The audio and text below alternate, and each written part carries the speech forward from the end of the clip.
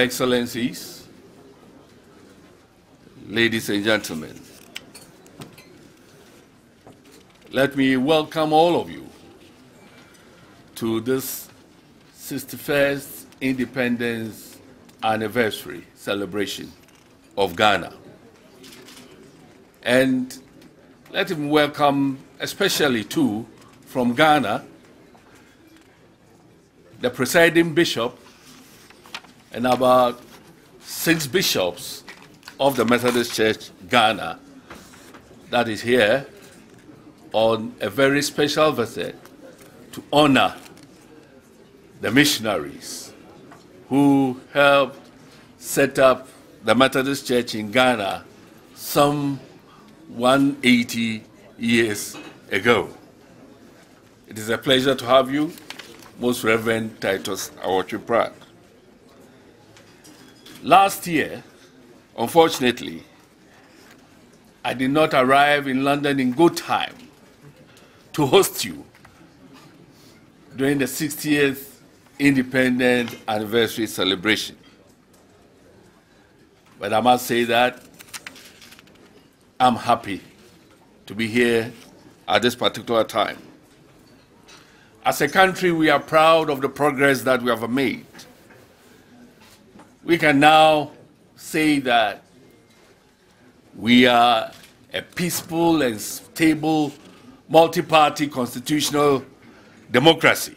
Since 1992, when Ghana decided to build a future based on democracy, it has not looked back. We have had six fiercely contested elections where on three occasions we have had changes in government from opposition to government. And the last one was just uh, December 2016 when the people of Ghana elected a new government under the leadership of His Excellency Nana Addo Dankwa Akufo-Addo. And I'm honored to have been appointed by the President to be Ghana's representative to the Court of St. James's.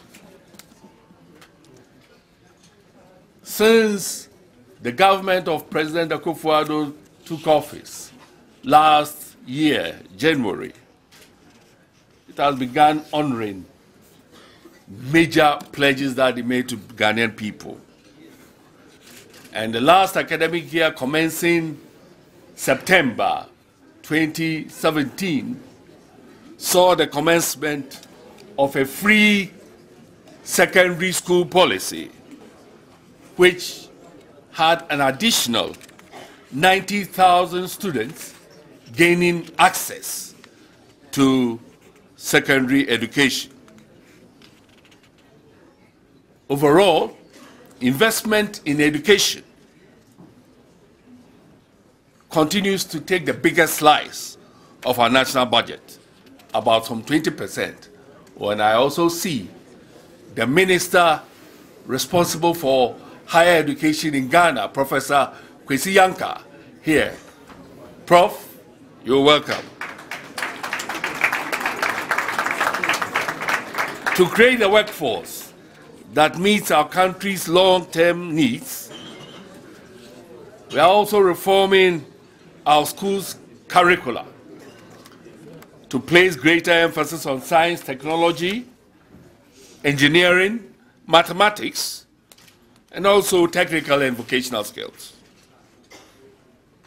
The government has made the creation of jobs and self-employment opportunities for the youth a key multi-sector priority.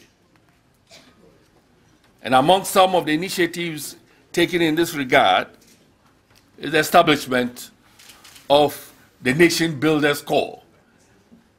And as the President announced in his address this morning in Ghana, this year, hope to employ 100,000 young people to assist the delivery of public services in the areas of health, education, sanitation, and agriculture, as well as boost the efforts of the Ghana Revenue Authority in collecting taxes.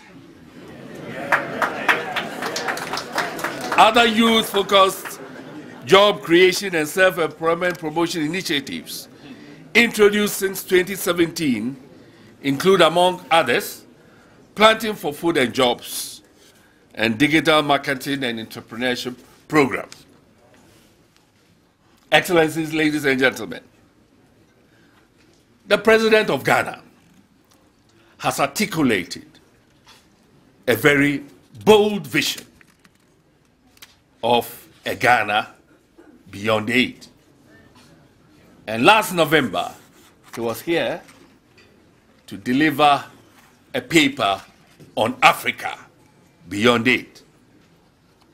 Africa, blessed with natural and human resources, such that as a continent, by this time, we should have been able to end our dependence on foreign aid in our national budget and expenditures if we're to have the right mix of leadership, planning, and prudent management and use of its resources.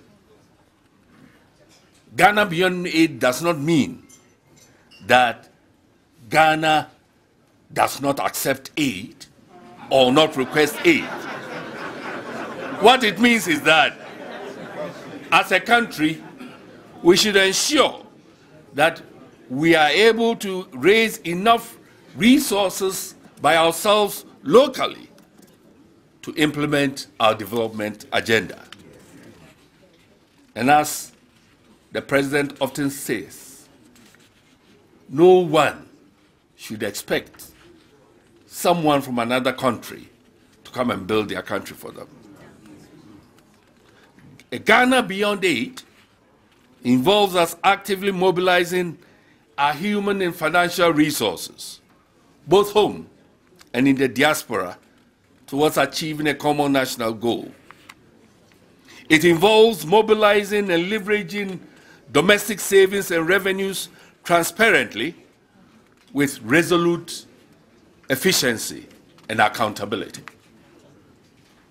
Government has therefore embarked on a campaign to build a new ethic and culture of tax responsibility and compliance among Ghanaians, while at the same time, it's modernizing and boosting the tax collection capacity to generate more revenue to meet our development needs.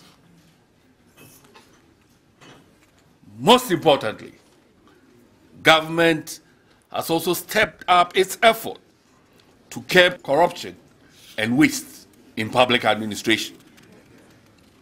An independent office of special prosecutor has been established by an act of parliament with bipartisan support, with the office being assured of the requisite tools and resources to give dedicated attention to investigating and prosecuting cases of corruption by public office holders, including past and present politicians, and recovering the proceeds of corruption.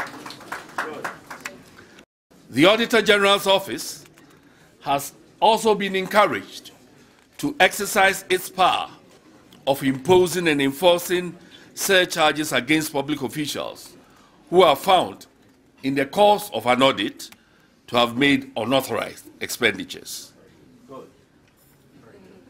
Ghana Beyond Aid means Ghana is open for business.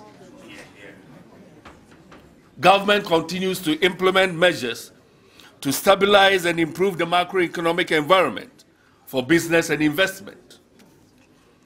Already, the fiscal deficit, deficit has been brought down from 9.3 as of December 2016 to 5.6% of our GDP as of December 2017, and government continues work to reduce it further.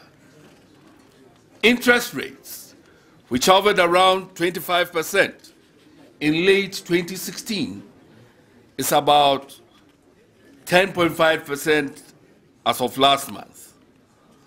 Last year, 2017, the Ghanaian economy grew by 7.9% from a rate of 3.6% in 2016.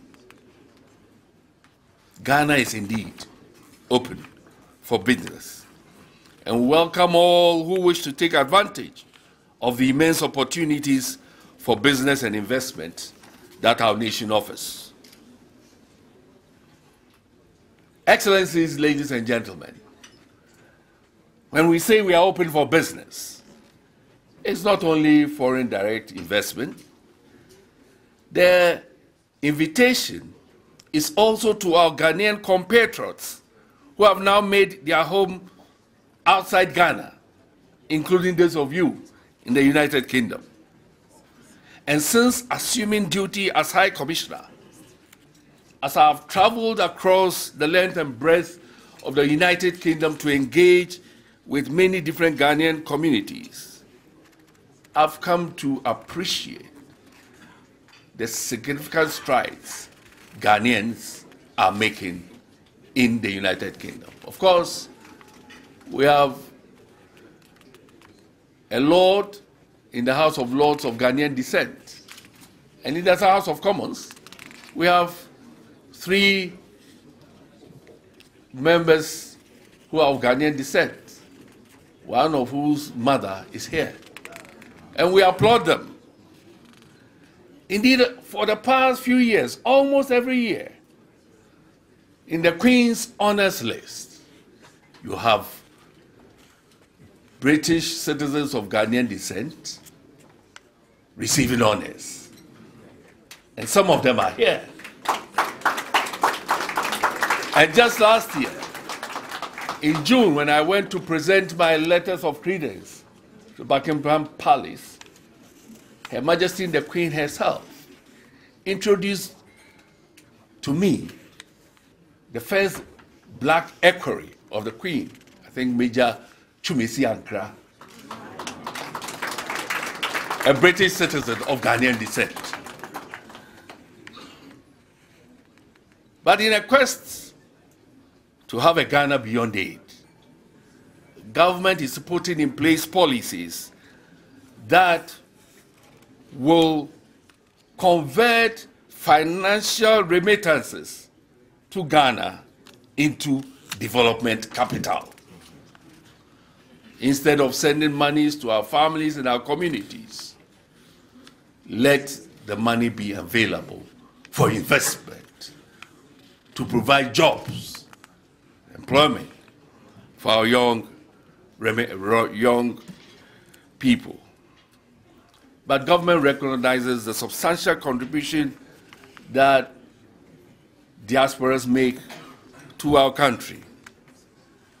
The regular remittances you send to your loved ones and your families go a very long way indeed. Not only to them, but the economy as a whole. And your contribution also goes beyond these remittances because your skills acquired outside the country should be used to support the new Ghanaian agenda. As I say, at the time when we were fighting for political independence, many of those who led the independence struggle could be described as diasporas.